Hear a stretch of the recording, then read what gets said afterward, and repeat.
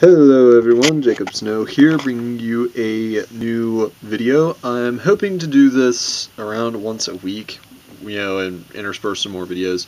Just do a weekly skirmish, uh, set up the board in different interesting ways, and see how much I can get done with a single adventurer. Uh, today I'm using Bria. She is my Dark Elven Warrior. Uh, she's using two crystalline swords, and she has 5 hit points, deals 2 damage per hit, and has plus 7 to her attack and plus 4 to her defense. Um, rolled off earlier and have played through it a couple of times, and now I'm going to play it through on camera. Uh, we rolled 4 on monster hit points. Sorry about that. Uh, we so we put out a crossbowman, a and two highwaymen. There we go. Uh, and we will be using a dice cup. It's one problem I've had a lot of recent videos is when I roll the dice, oh, they go everywhere, and sometimes they fall down. So I'm hoping by using a dice cup that that will be circumvented. So we're going to roll for initiative. Black dice represents the bad guys, white dice represents our hero, and the bad guys will be going first. One, two, three. There's that. One, two, three.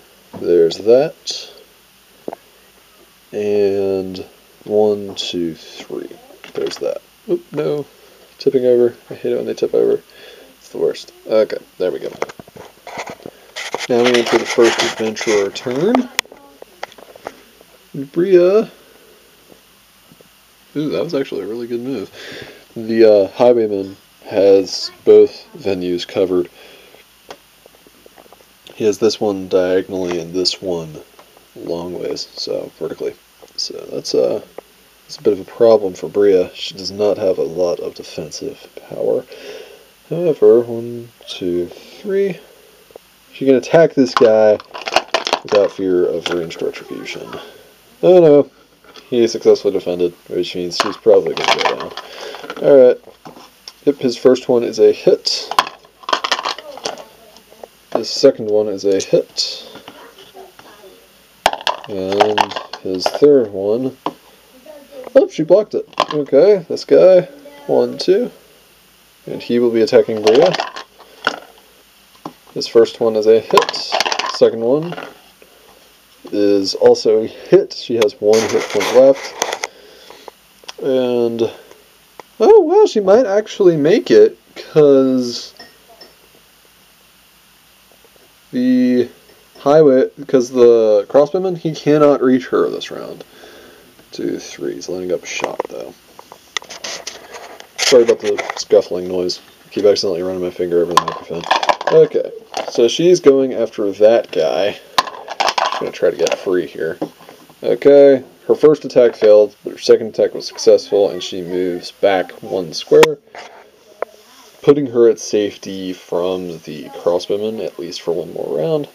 And he is now moving to strike out at Bria. Both of the dice just went into the floor. Uh, Bria rolled a 3, and the Highwayman rolled a 5. She got a 7 defense, he got a 10 attack. Bria is vanquished and will awaken in the temple due to her adventurer's charm. Uh, that was a really tight round. Uh, mainly because the crossbowman had me wherever I went. You know, if I had gone that way, he would have had a shot going after him where he was there, I would have gotten it if I'd been able to hit him. So I'm going to try it again. Same placement. Well, relatively same. Uh, forgive me if I don't get this quite right. Wait a minute. Yeah, he was there. Okay. And he was right here. I've got a crazy cats going on. And a little brother pretending to be a crazy cat. so, uh, okay. So we're going to try this again. Hey, Bria gets the initiative. And she is going to go one, two, and she's going to just stay there, okay? Now, this guy is going to do exactly what he did last time. And this guy is going to do exactly what he did last time. Our difference will come from the crossbowman, who will be moving here. He moved here instead of right here, which is where he stopped last time. Okay. Bria. It's turn now.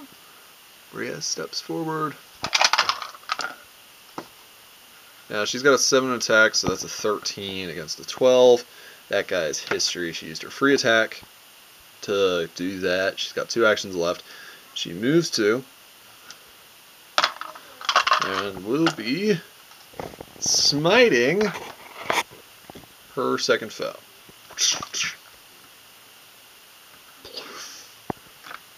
So that was a very different first round uh, because I was able to. Firstly, I thought ahead about where I put Bria, so she wasn't immediately engaged in battle.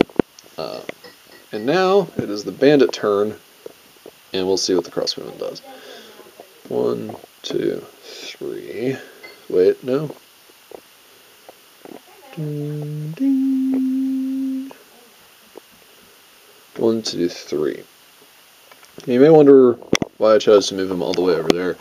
It gives him, sorry about the finger in front of the lens, it gives him a clear line of sight on Bria, but she does not have the advantage on him. She can't get to him in the first round. Well, actually, yeah, she can.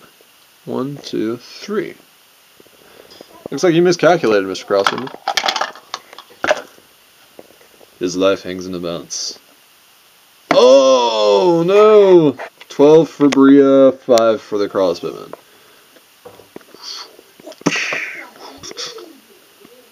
And Bria successfully clears the room this time. Winning those first two combat rolls made a world of difference. Um, and being a warrior where she dealt 2 damage per hit, again, that was a lifesaver because she would have been adjacent to the crossbowman. If she had only dealt one damage with a successful attack, she dealt two damage, which took him right out of the fight.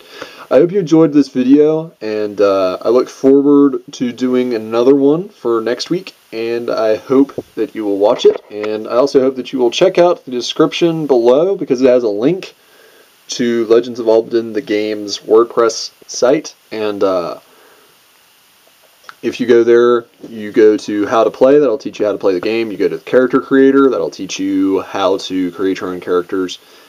And uh, you go to quest mode, and that'll give you the quests that we've been doing. We're about to wrap up a big quest arc, and uh, maybe I'll be able, once it's put together and finished up, all five quests are up there. I'll be uh, recording a quest line video, so I'm really looking forward to that. Y'all have a great night. God bless, and remember, you are legendary. Never forget it. You're a legend that will never come again. God bless. See you around.